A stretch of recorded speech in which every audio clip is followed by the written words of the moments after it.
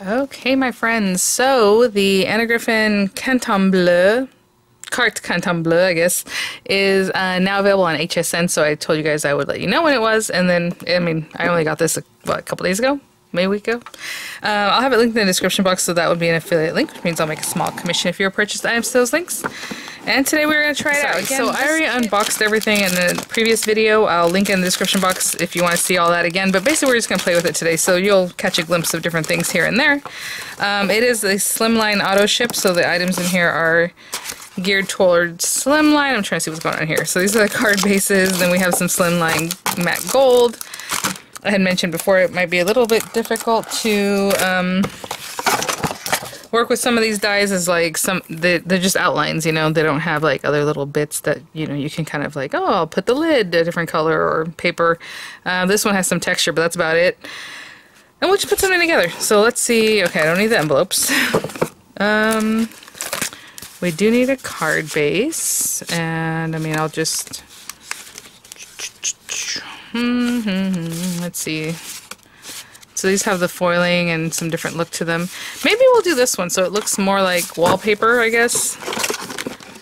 Um, the whole thing with this is like, it kind of looks like a table, it kind of looks like a window, like a something that you would have, you know, your little china in or something. I don't know. Uh, so let's just get that. I don't know which of these papers I would like yet. So let's put that to the side.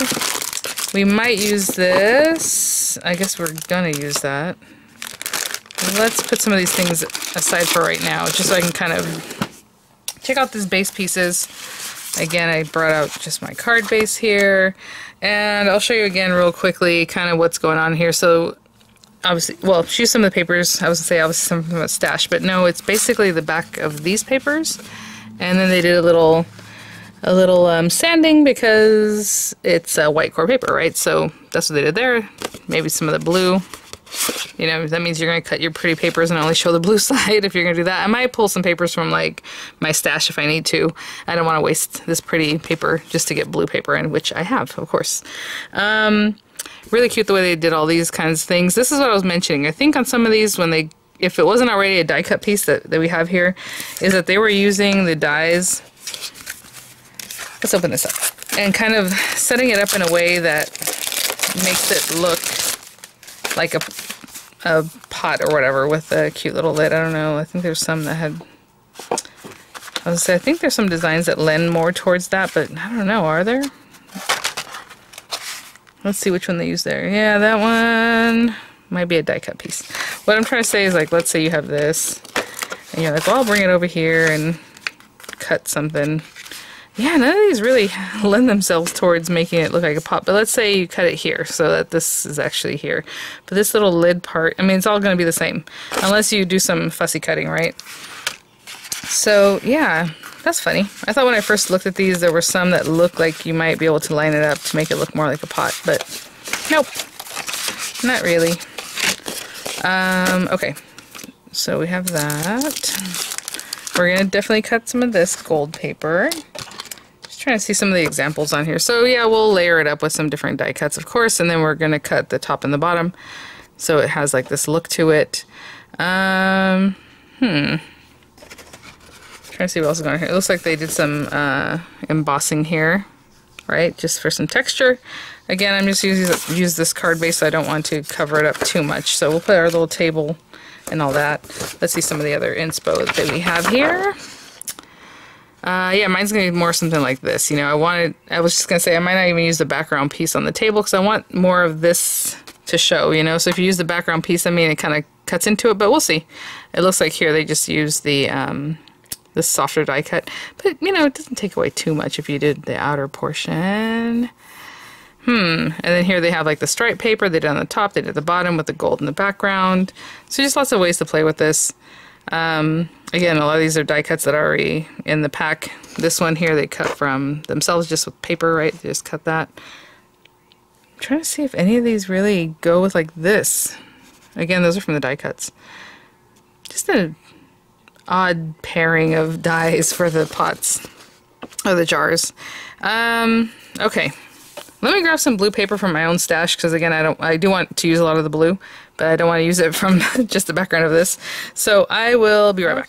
So I found this pack of paper. I recently, well, I don't know how recently, but I think I might have shown you guys.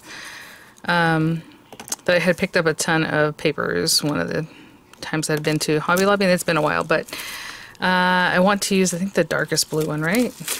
Oh, that light blue works too, but let's look. I was looking for something like really navy, you know?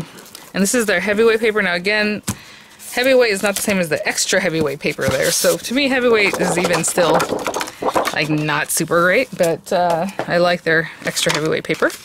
But when they have these color packs, that's pretty much what they sell it in. Um, and then just regular weight, which is like 65 pound, I guess. I think it's like 80. Does it even say?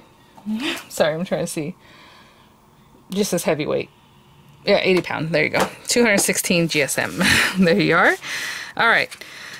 So I want this for like this background. I do like the look of that kind of ecru, and I was like trying to see if I had something in my stash that was white core, you know, with the tan color, but I really don't. So kind of a bummer. So what I'm going to do is, and I hate to do it, I'm going to use this guy. Actually, this isn't my favorite paper anyway, so that's fine. no worries. I'm going to cut this paper um, with these things. So let's see the finer little table like that insert I'm going to use on this guy. And I guess we'll match up the top part too. Why not? So she used the lighter one. I don't know if you can see it's like um, a more pale wood color. I'm just going to use this stripy one. So we'll cut both these guys out. We are definitely going to get the embossing going. So these areas here need embossing. So I will run these through whatever your machine is. You know, if you're running it through like the um, die press machines, these definitely will fit in there. You can run it through an extra piece of paper underneath to give you more of the embossing or a foam, right? Like I use fun foam normally, like the kids fun foam. I always like to really tape this kind of thing down because when I do run it through with embossing, if I'm using a different machine, you might have to pick it up. If you're doing the Anna Griffin one, I never, even when I use my Anna Griffin machines, would cut into my magnetic mat, but she does it all the time. you know, I don't have unlimited magnetic mats like she does, so I don't like doing that because it feels like it, but at least from my experience, it tears them up and I don't like it. Um, I do like the blue in the background though, so we're going to do that. And I don't know if I want it for both things. That's kind of weird, right? But uh, I will do it for this one. So I was wondering if we should bring that light blue in. You know, not everything is the right shade. Just because you have five shades here doesn't mean it's like the Anna Griffin shade of blue, you know, and it might just look like, ee, not great. We can do that. Let's do this for the table, the dark blue. Let's do this light blue for the outside frame, and I may or may not use it, but we'll see what it looks like. So for right now, I'm going to run those through, and I'll be right back. So we had our pretty papers. Let's put this away. Oh, that's funny. I was like, yeah, for sure we'll use the gold, but I didn't. At least not yet. Um, I probably won't if I already did this. Interesting. Hmm, how did that get away from me? I don't know. Okay, so we're going to use this guy. And this guy, possibly. Wow, I mean, you're going to cover everything up anyway. You know how that happens. I mean, oh my goodness. I wish... A lot of times, like these shadow or background dies, I really like them to be kind of the same size instead of having like an extra outer portion, but that's okay. I was going to say this might be a little worse for the wear, but we're going to cover it up anyway, so I guess it doesn't matter too much.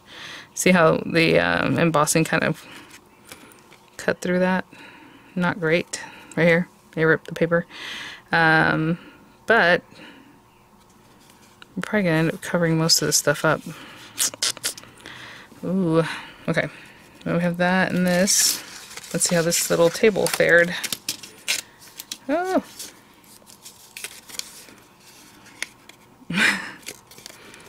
He's really stuck on there. It looks like we had a better time with this. And then with our little window there. Cute. So I was going to rub away some of this. I don't know, guys. I feel like I should just leave it. But at the same time, I do like the look of that. So, alright, fine. Hopefully you can kind of see some of the embossing there. So I'm going to do now is just take a sanding block and get a little of that to be more exposed. I don't know if you can see that where it's kind of more white. Okay, same thing for the window. I'm be very careful with that though since it's already very fragile.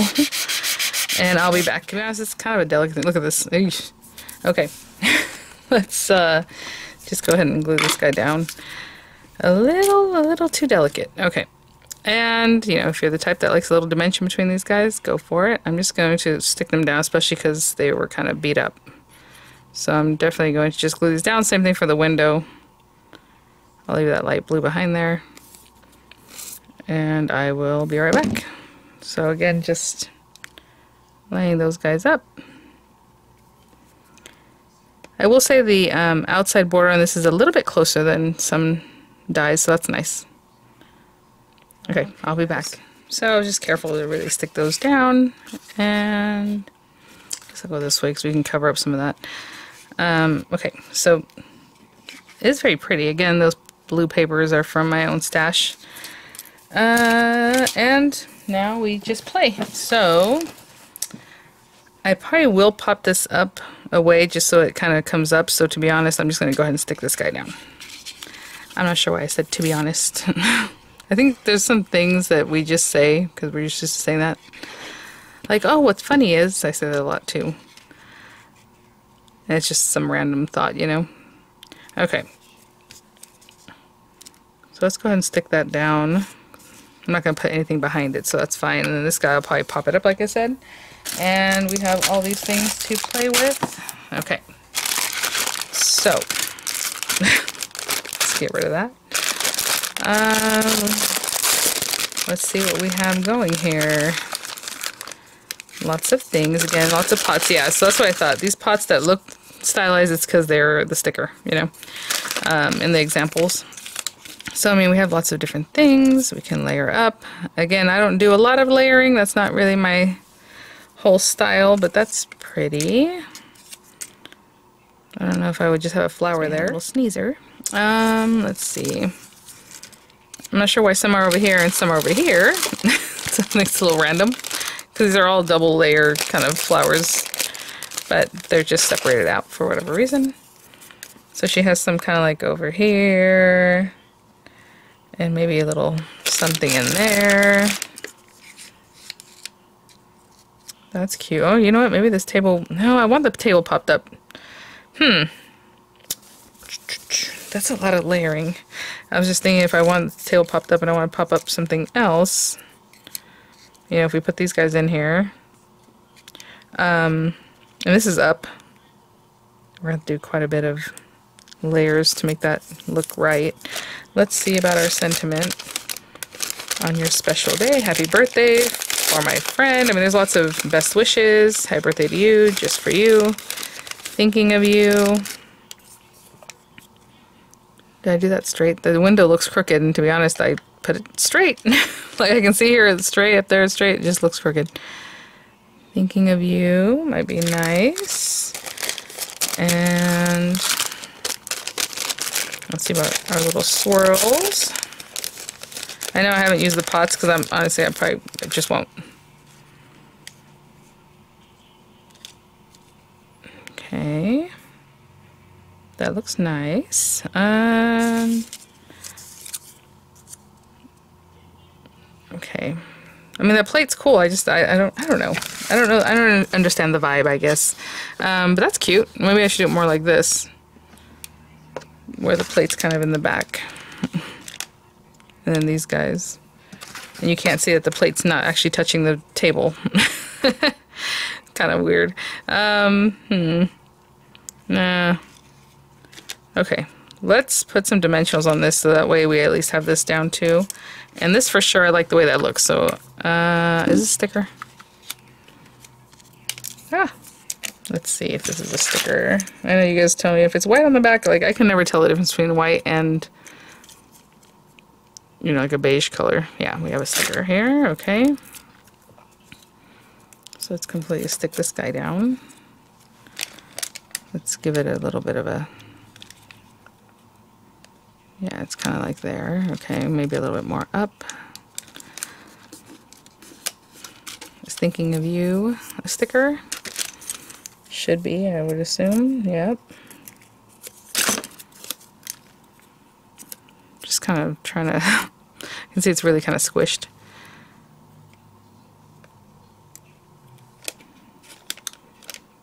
Okay.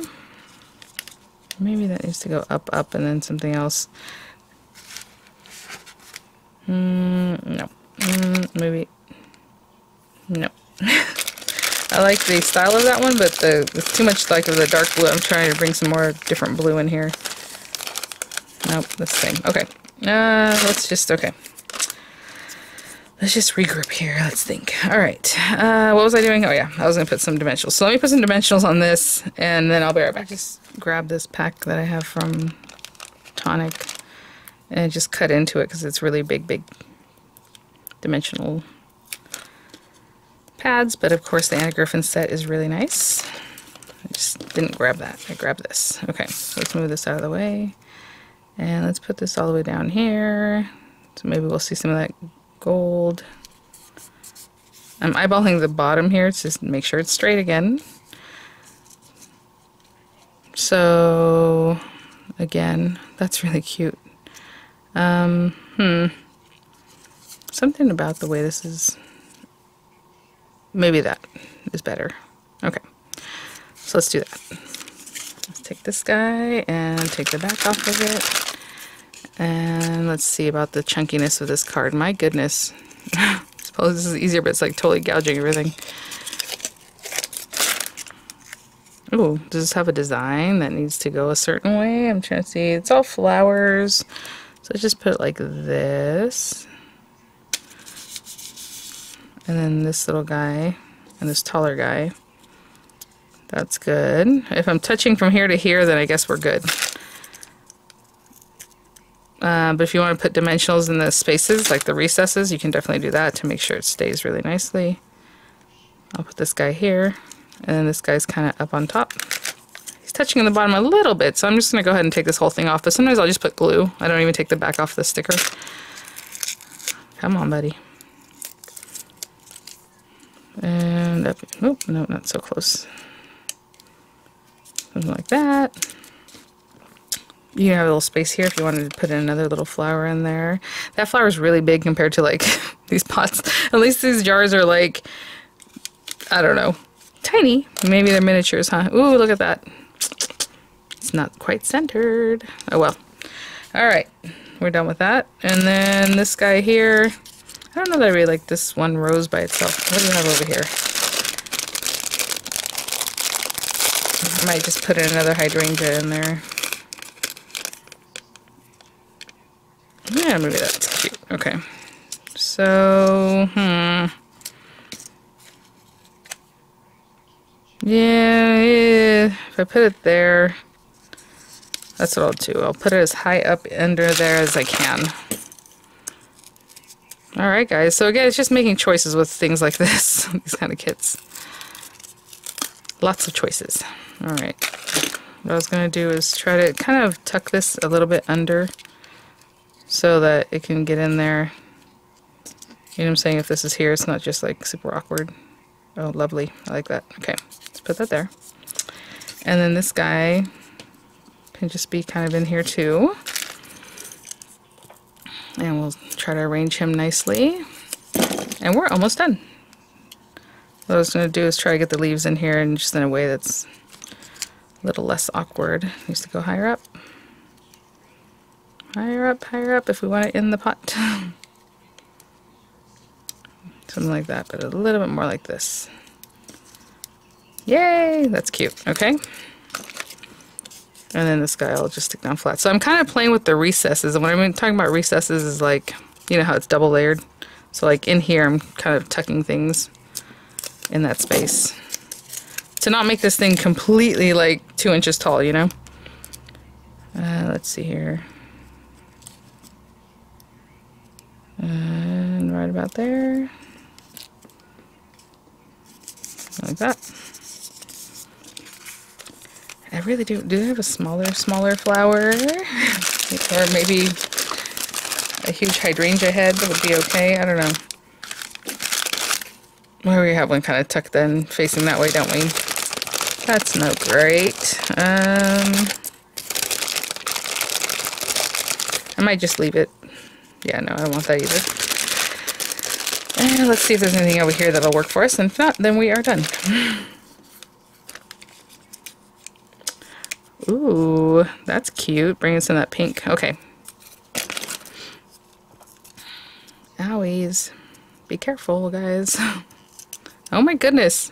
Of course, I'm almost done. The thing decides to destroy me here. Alright. So the flowers, again, do they go this way? Do they go like this? I don't know. It's hard for me to always tell what direction things are in. But I really like the way that looks. And it's just hanging off the edge there. Okay. Pretty. Very different. I mean, it totally has a different feel, right? Very interesting. I try to leave things so you can still see like what's going on. Um, I think we did a good job of that today. All right, guys, thanks for watching. Yeah, so now the set is there on HSN, um, especially if you like blue. This is very pretty. There are a ton of items in here, I'll tell you that much. I mean, there's a ton of different things. And just, you know, play around with your little dies and see what works out. Alright guys, thanks for watching. Um, I have some images coming up. I'll have the links in the description box down there under the title. And I'll see you guys at the next one. Bye now.